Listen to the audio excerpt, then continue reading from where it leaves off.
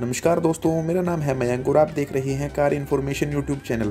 तो दोस्तों, आज की इस वीडियो में हम बात करेंगे how to increase car mileage हम अपनी गाड़ी से ज़्यादा से ज़्यादा माइलेज कैसे निकालें? तो दोस्तों, चलिए शुरू करते हैं आज का यह video. Point number first timely servicing and proper maintenance तो दोस्तों, अगर हमें अपनी गाड़ी से ज़्यादा से ज़्यादा माइलेज निकालना है तो हमें अपनी गाड़ी की सर्विसिंग और उस गाड़ी का मेंटेनेंस टाइम पर करवाना पड़ेगा। तो दोस्तों, अगर हम ऐसा नहीं करते हैं तो इससे हमारी गाड़ी के माइलेज पर बहुत ज़्यादा बैड इफ़ेक्ट पड़ता है और हमारी गाड़ी का माइलेज बहुत ज़्यादा कम हो जाता है। तो दोस्तों, कृपया करके अपनी गाड़ी की सर्विसिंग टाइम पर करवाएँ, ताकि हमें अपनी गाड़ी से ज़्यादा से ज़्यादा माइलेज मिल सके। अब बात करते हैं पॉइंट नंबर टू की।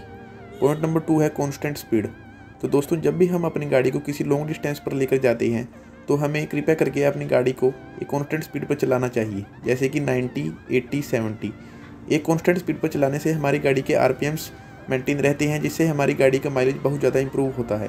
तो दोस्तों हमें अपनी गाड़ी को एक कॉन्स्टेंट स्पीड पर ही चलाना चाहिए। दोस्तों अब बात करते हैं पॉइंट नंबर थ्री की टायर प्रेशर तो दोस्तों टायर प्रेशर एक ऐसा फैक्टर है जिससे हमारी गाड़ी के माइलेज और हमारी गाड़ी की परफॉर्मेंस पर बहुत ज़्यादा असर पड़ता है। अगर हमारी गाड़ी का टायर प्रेशर कम है तो इससे हमारी गाड़ी की माइलेज के साथ साथ हमारी गाड़ी की परफॉर्मेंस भी बहुत ज़्यादा कम हो जाएगी। तो दोस्तों, कृपया करके अपनी गाड़ी का टायर प्रेशर टाइमली चेक करवाते रहें, जिससे हमें अपनी गाड़ी से ज़्यादा से ज़्यादा माइलेज मिलता रहे। तो दोस्तों, अगर आपको यह वीडियो पसंद आई है तो चैनल को सब्सक्राइब करें, वीडियो को लाइक करें शेयर करें। धन्यवाद।